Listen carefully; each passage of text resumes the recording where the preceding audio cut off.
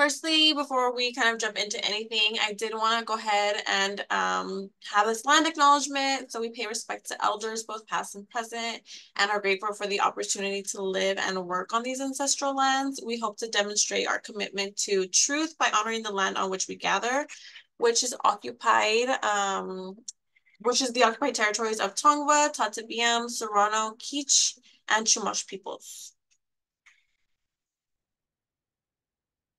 And that's specific to Los Angeles County, since Out Against Big Tobacco Los Angeles um, does work uh, regionally within Los, Los Angeles County. Okay, so for the agenda, um, just a quick icebreaker. That'll be the next slide, just so we can do some introductions. It's a relatively small group, so I always think it's nice to be able to hear a little bit more about, you know, where folks are coming from. We'll talk about who we are, um, what Out Against Big Tobacco does, and then an overview of the actual community engagement program, uh, what that looks like, and then we'll have some time at the end um, about questions or for questions.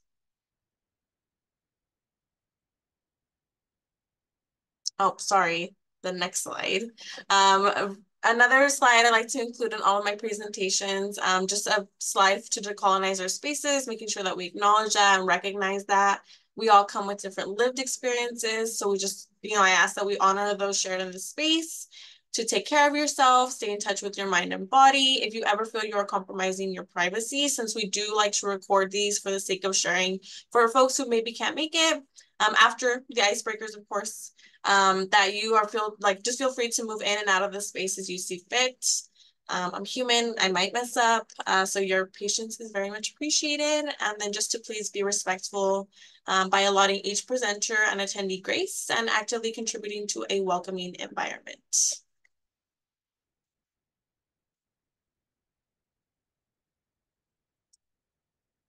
So for our icebreaker, it's Pride Month. Happy Pride Month, y'all. Um, just quick name, pronouns, and whether or not you're attending any Pride events. And if so, which are you most excited about? If you're not attending any, maybe any other events that you may, might be um, attending that you're looking forward to. And I can go ahead and pass it over to, from what I can see, um, I'll go ahead, uh, Judy? Yes. Hi, uh, I go by she and her.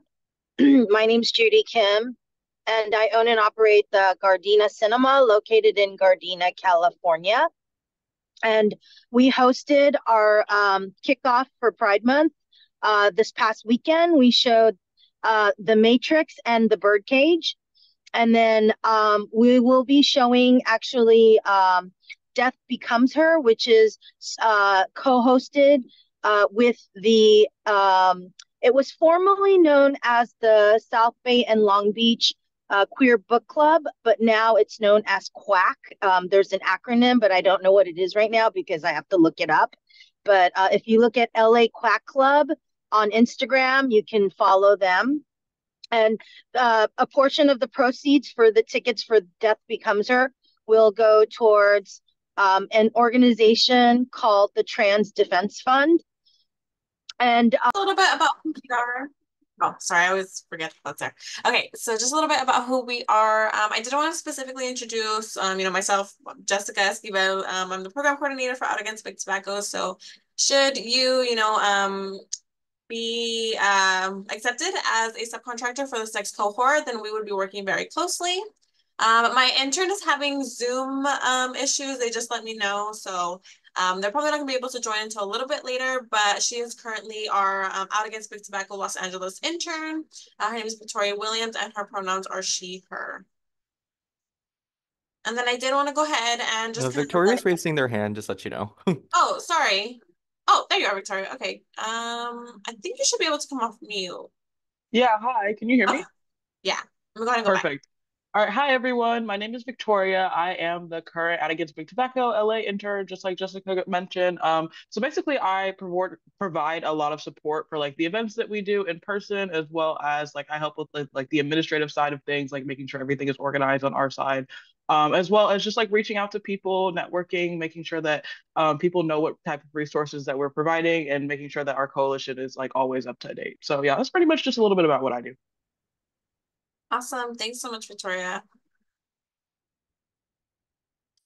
Um, yeah, and then our director, uh, Danny, uh, we have another program coordinator, Aston Williams, Isais, y'all met earlier, as well as Ariela and Ryan. And together we are the network team. And then I also want to make sure that we kind of acknowledge Lou.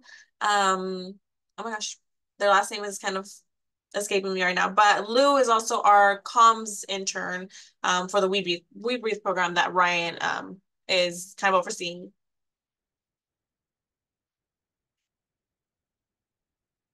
Lou Arona. Is that, did I pronounce that correctly?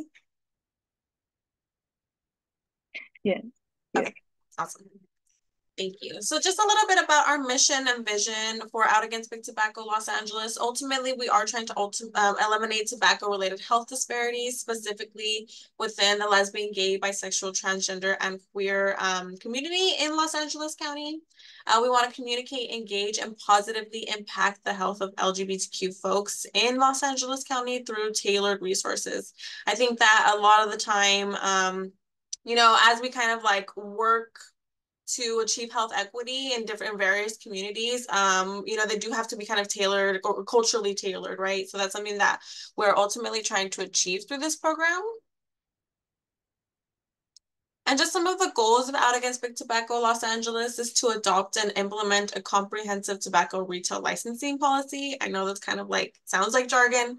Really, it's just a policy kind of to get, you know, like um, the tobacco retailing licensing um, for it to be comprehensive, uh, for it to kind of ban, you know, just go further or above and beyond flavored tobacco products, ultimately all um, commercial tobacco products. And then secondly, to engage diverse individuals and organizations in tobacco control advocacy work. We know it's kind of like a niche area. So really all that we can do to uplift and support, you know, emerging public health leaders, youth, um, having internships available, you know, like Victoria was talking about a little bit earlier um, just kind of having these different platforms in order to engage that kind of work. So what we do, I kind of broke it down into four spaces. The first being educating LGBTQ plus communities on the tobacco related health disparities themselves. Um, I think there's a lot kind of um, is under, I guess a lot like a lack of resources in general. Um, so just to be able to kind of share that with our community and really acknowledge it um, as an issue. And then secondly, emphasizing the need for data equity and research on LGBTQ plus communities. I'll talk about it a little bit in more emphasis later about just some of the data collection that we're doing to ensure that our voices as an LGBTQ person who, you know, or as, yeah, as someone who identifies as LGBTQ plus, um, ensuring that our voices not just like is, you know, it's not just me talking about our communities at large. Um, thirdly, reducing access to commercial tobacco through legislative policy within LA County. So policy is very a very, very long process. And that's, you know, something that I pride myself in terms of like doing the work long term. Like it's going to take a while, but we're here doing the work. And then lastly, supporting and serving emerging leaders in public health spaces. And that's kind of alluding to our public health internship. So again, just kind of like what Victoria was talking about a little bit, what they do in their role. We are currently um, hiring for another intern.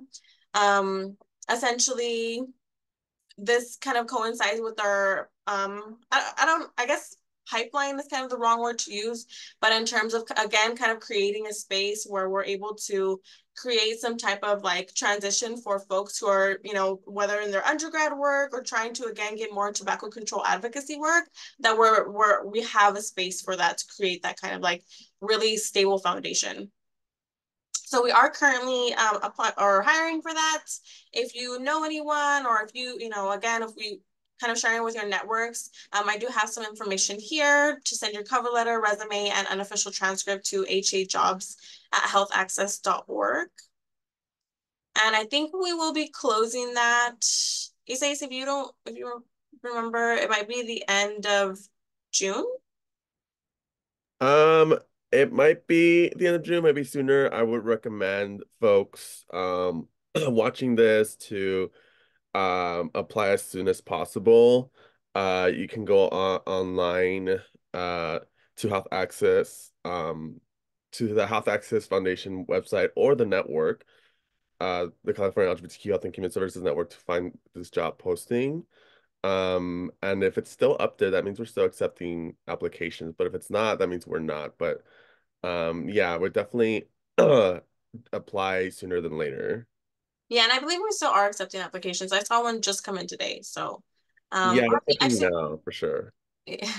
Um, Arby, don't mind sharing the um website, the webpage for um the network? That would be really helpful. Thank you so much. Um, so just a little bit more about kind of what Out Against Big Tobacco does. Um, as far as educating and creating, our work is centered around the LGBTQ plus community and the various intersections our identities involve, such as tobacco usage and how prevention, um, intervention, and cessation might look for our community. This really requires us to learn, unlearn, and educate others um, on the knowledge we acquire within these topics. So I get especially excited about helping educators work with LGBTQ plus youth in order to meet their needs within tobacco control and intervention. So I just kind of included some pictures. I know that some of these presentations can get really wordy, so I kind of just wanted to show you all kind of like what we do. You see here on the right bottom hand side, thank you next, empowering LGBTQIA plus students in the fight against tobacco. So like I was just saying earlier, just that's something I personally get really excited about because my other, I guess, role in this life is an educator. Um, so yeah, I really like kind of um, being in those spaces where I get to kind of be in both places, right? They kind of meet in the middle. So really, yeah, really glad I get to do um, you know, educate and create in this in this role. As far as data equity and research, more recently, we have begun to collect data within our communities for the sake of creating new and accurate um, research infographics. This is this in particular is what, what you're looking at is a trifold that we just created um, with, you know, more kind of accurate and updated information regarding tobacco usage within LGBTQ plus communities. Um, yeah, so like we're we're really trying to get more, like how I was saying earlier, kind of tailored um material like specific to our community since I just don't think there's enough of it. Um, so yeah, so kind of really excited about that. And this is one of the options, again, later on I'll talk about in more emphasis kind of as um, a person who's applying for this program, uh, some of the different options that you're able to help us work on with. So one kind of, you know, this might be one is creating these educational resources um, for our communities.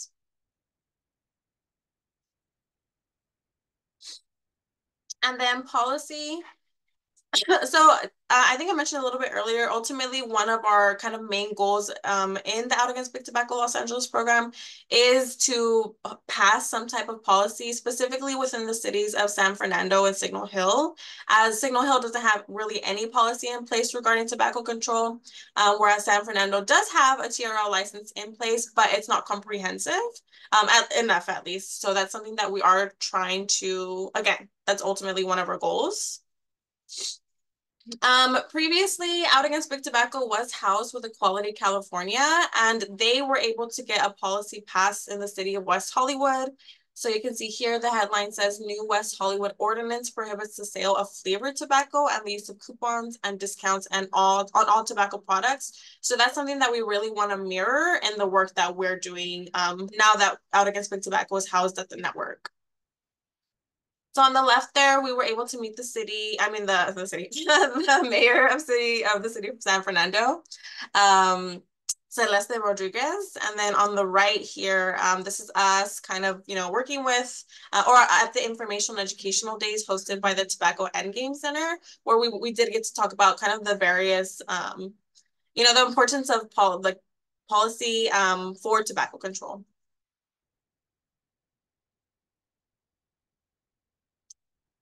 So an overview of the actual program and kind of what that might look like should you be accepted as a, a subcontractor. So what we try to, what kind of in just three bullet points, what we're trying to do in this program is to fund individuals and or organizations interested in building their capacity to participate in LGBTQ plus tobacco control efforts. So again, I know it's kind of a very nuanced space, but it does give, give either you who might identify as LGBTQ plus or the opportunity as an ally to work with this community in particular. Um, also to support the work of Out Against Big Tobacco to prevent and reduce tobacco use and related healthcare disparities within the LGBTQ plus communities. So again, a little bit more on that like nuanced space um, of work where really, you know, it's ultimately public health and health equity that we're really trying to emphasize.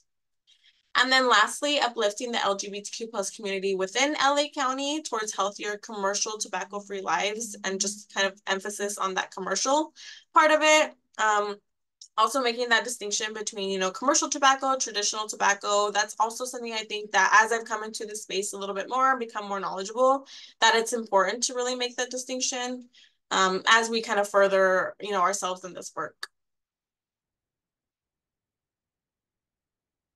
And if y'all have questions, please go ahead and feel free to like put those in the chat. Um, you know, that's something that there is a space towards the end to kind of like ask those questions, but you know, should they come up, please feel free to write them out, write them down in the chat so you know we don't forget. So the application has been um, open for I think about two, maybe a little over two weeks now. They are due June 21st and kind of what your work or the time frame of your work would be from July, so starting next month, all the way up until June of next year. So it's a little under a year. That's how long the program is meant to last. Um, it will involve $2,000, $2,500 for four selected individuals and or organizations. So you can apply um, on behalf of your organization or yourself as an individual. Um, and also, I know that there are some of our current subcontractors in this um, webinar, so just make sure that we also know that you know previous subcontractors are more than welcome to apply um, to this the second cohort that we're hosting. And this is our um, flyer that went out. So this is where you can actually get the QR code for the application itself if you wanted to look at that or glance at that while we're going through the rest of this um, webinar. Thanks, Ari, for including that in the chat.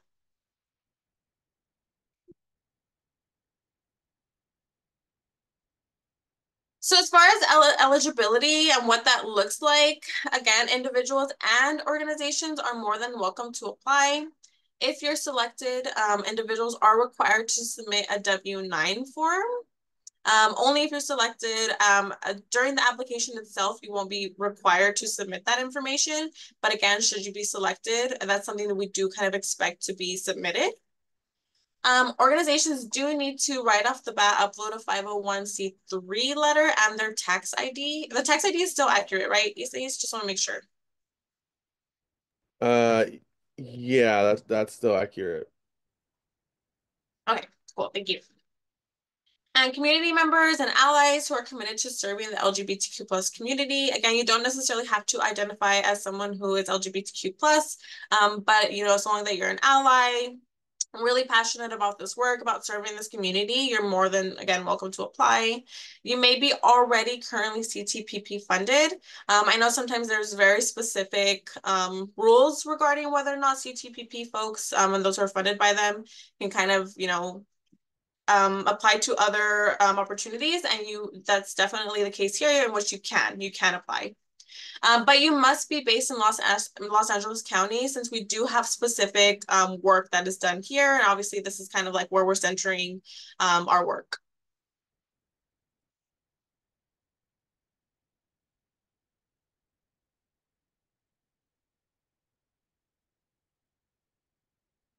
So again, should you get um, accepted as a subcontractor, you might be wondering what your responsibilities look like. There are a few requirements. So one would be to be an active member of the California LGBTQ Health and Human Services Network.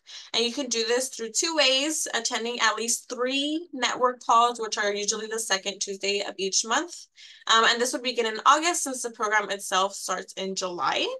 So kind of like a freebie that first month, but the second one, that's kind of when that requirement would start. And then secondly, providing one to two updates via our listserv. Um, and you don't necessarily have to kind of use this as an opportunity for tobacco related um, work. It could also be an opportunity to show showcase your own progress and work. And again, does not necessarily have to be tobacco control related. Um, so again, that would, so that first kind of network call would take place on August 8th. I believe that's the right date. But yeah. And then for the second one, or I guess the second portion would be kind of choosing one of the following here. So you see that there's four different options. Kind of glancing over them quickly, and we'll go into a little bit more detail in the following slides. But first would be to attend and assist Out Against Big Tobacco staff on planning one event. Um, so this would, this typically looks like a tobacco awareness day. Um, and then maybe I could just go ahead and go over it. So this is option one. So this is one example um, that I know was done a couple, maybe a couple years back. Isais, if you don't mind talking a little bit about kind of what that entailed. Yeah, so this was a big queer convo that occurred in, I believe, 2019, and it was a collaboration um, amongst the other LGBTQ regional projects who were coming uh, together with us, and we invited some uh, some folks like uh, Bambi Salcedo and uh, TEROC uh, advise uh, TEROC members, board members um, as well as other folks who are involved in uh, tobacco control or in the community uh, to talk about the importance of uh, reducing tobacco use in our communities uh, during the Great American Smokeout. And so we held this in the Los Angeles Gold, not the Los Angeles, it, it, we were held at the LA LGBT Center um, location, Gould Plaza. Um, and mostly, uh, if you chose this option, what the extent of the work that you'd be involved in is helping to coordinate logistics and uh, helping to develop programming for an event such as this one, um, and working closely with Jessica on what that looks like. Yeah, thanks, Isais. And then I also have a little um, flyer at the bottom there. Um, this is one event that we're in collab we're working with in collaboration with the LGBTQ Center OC. They're having their advocacy day um, this weekend or this Friday actually. Um, so something that we've been able to work on with them together in terms of what we want that to look like, and especially making it again like very um, what's uh what's the word I'm looking for curated for you know queer folks and the queer community. Um, so this kind of this tobacco awareness day is going to focus on like poetry, art, um, and just kind of you know highlighting tobacco control work through through that art and and poetry. So secondly would be to assist, or the second option, I guess, is going to be to assist out against big tobacco staff in outreach and engagement efforts at one to two local LGBTQ plus community events, such as Pride Parades. Um, we do find that this is kind of like a really good space, obviously, to do both um, outreach and engagement. So that's something that we try to do as a program, apply to, you know, at, apply as an exhibitor to different um, Pride events. So let me go ahead and go here. So this was this was literally outside WeHo. So I just added this picture, but this is Victoria, Jesus, one of our current subcontractors, and myself. We were tabling at WeHo Pride. That was really fun. Um, we were there both days and got to, I think we ended up getting over 200 survey responses. So definitely above and beyond what I kind of expected. Um, so that's great. And that's going to really help towards our data collection overall within the LGBTQ plus community. Um, and just like some examples of kind of the different um, events that we've had or different, you know, LGBTQ plus focus events that we've attended um, or again, acted as like a tabler. That's kind of what that would look like should you pick this option. Um, the third option is to assist us in the development of one to two LGBTQ plus tobacco related educational materials. So this would be like a fact sheet, uh, videos, if you know you're more creative that way. Experience in communications and or digital art design is required for this particular one. Um, and if Ari, you want to talk a little bit about why that is and kind of what that looks like. Yeah, sure, Jessica. Um, yeah, so, you know, as mentioned earlier, one of our main goals is to engage, you know, various individuals, organizations in this work. Um, and so one of the ways we do that is by creating education materials, um, such as the trifold brochure um, that y'all saw in some previous slides um, that has some, you know, statistics on LGBTQ tobacco use.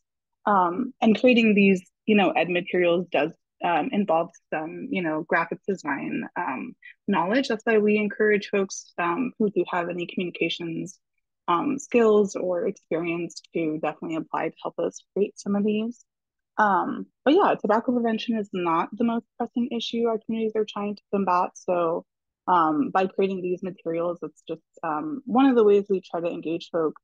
Um, and, you know, they can take many forms. It could be like a fact sheet, a brochure like you see here, um, you know, any like video, like PSA or inspiring messages that like we want to create um, like a social media toolkit. I'm just listing off what what they could potentially look like. But um, yeah, Jesus on this call is actually um, involved in our other uh, leadership development program for our We Breathe program um, that the network hosts. Um, and yeah, they were they were super helpful with creating um, a fact card specifically on LGBTQ youth and tobacco. Um, that they you know revitalized some like informational presentation they hosted for their organization and like kind of revitalized that and incorporated it into one of our education materials, which um, is currently being consumer tested since um, I'm getting a little into the weeds, but our, our ed materials, you know, just to ensure that they are relevant and resonate with LGBTQ communities, we want to make sure that they are consumer tested to um, get folks feedback, you know, on things like the design, legibility, um, you know, if the information is easy to understand, who they think the target audience is, things like that. Um, so yeah, that's essentially kind of like what education material um, creation would involve. But if folks have any other questions outside of this, um, you know, I'll, I'll leave my email in the chat so folks can reach out um, if you're thinking about applying and doing this um, this option. Um, yeah, let me know. Thanks, Ari. And that was the third option, which is what we were looking at. Um, yeah, if you know you had any more questions for Ari. Um, and then the last option, so again, so there's four options. The last one being um, assisting um, our staff in policy-oriented work in the cities of San Fernando or Signal Hill. Um, emphasis on educating, kind of something that we will make a distinction more about between educating and lobbying. Um, so just ensure that we all kind of understand that this would be more so on the educating side.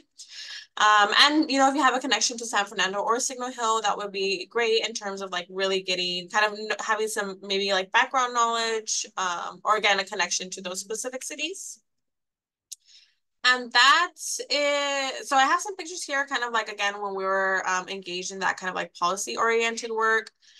But really what it would include is kind of facilitation of participation from volunteers, members of the public. So that could be stakeholders representing LGBTQ plus serving um, organizations, agencies. A lot of the times this involves working like with resource centers, social justice organizations, um, universities, healthcare providers, um, to present kind of at meetings of decision makers. So, so as ultimately we'd be gathering people, um, again, these different stakeholders for the sake of presenting at meetings of decision makers. Sometimes this might be like providing public comment at city town halls or attending, you know, um, different meetings in these particular jurisdictions so that we're able to kind of bring awareness to the different tobacco control work that we're doing or, you know, advocating for, or again, just ultimately educating um, the different people involved in the policy processing, I guess, or process part of it. Um, we so some of these pictures, two of these pictures, we recently just went to those informational and educational days hosted by Tobacco Endgame Center, where we get to educate our legislators about the import the importance of these um, tobacco control policies. So that one is definitely, I think, again, kind of all all of this is like really like niche work. But if you're kind of a person who really is like about like the policy part of things, this would probably be a great option for you.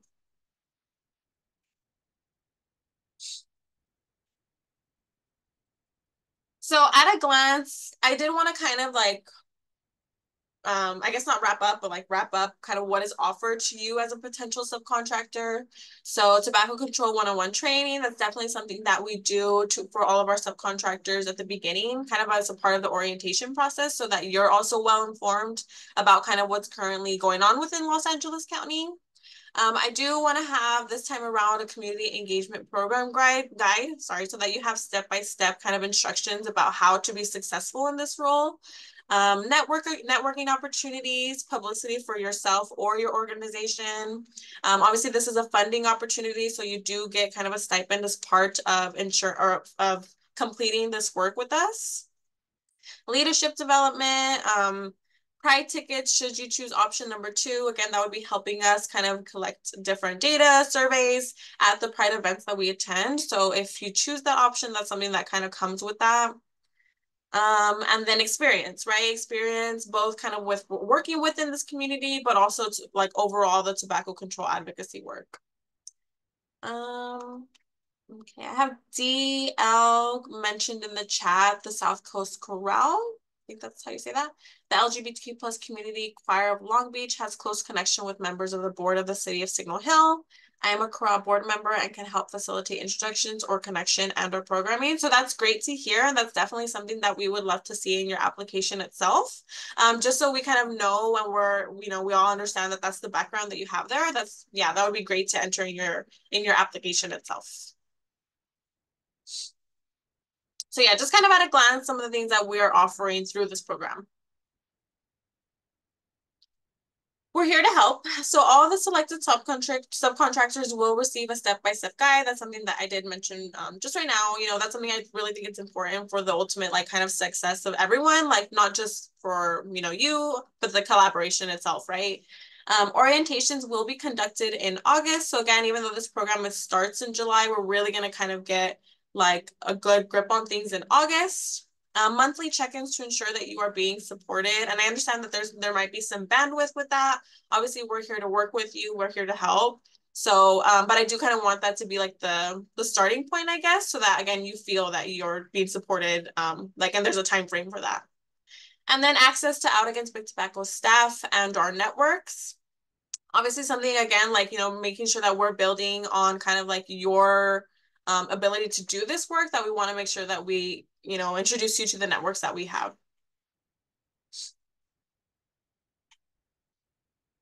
And then how to apply. So kind of the, I guess the more specific um, step steps, I guess, related to the community engagement program is please read the eligibility requirements carefully. I know we did go over that, but there's definitely kind of like, you know, full sentences within the application itself about kind of what um, the eligibility looks like. Um, but I did kind of review, you know, obviously the very important ones. Um, completing and answering all questions thoroughly. So I know there's a couple things in the chat right now. Um, so yes, our partner Gardena Cinema is a perfect place for dissemination of educational information, workshops, um, audio, visual trainings, etc. Yeah, so this is all great. Um, you know, definitely you're being very thorough in the chat, so I imagine that'd be very thorough in the application itself. Um, submitting the application online, and this must include the completed online application, and then for organizations specifically, a copy, again, of your current 501c3 letter and tax ID. And then just like a last note on the deadline, these are due June 21st by 11.59 p.m. I believe that's a Friday. Let me double check. Yeah, that's Friday. So that's in about a little over two weeks.